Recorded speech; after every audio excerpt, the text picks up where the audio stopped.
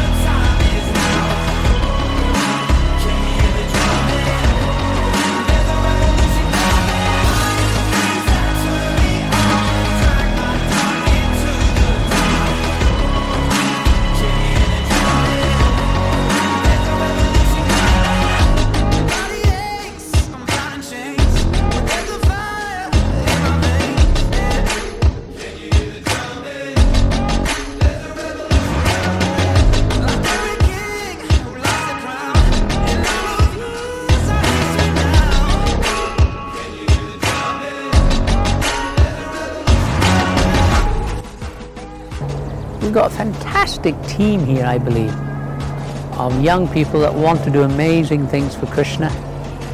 Uh, whether it's Om or whether it's you know the Pandava Sena, whether they want to revolutionize something else, mentorship or something else. I believe we've got amazing people that want to do amazing things for Krishna, and Krishna will reciprocate if we act in that way.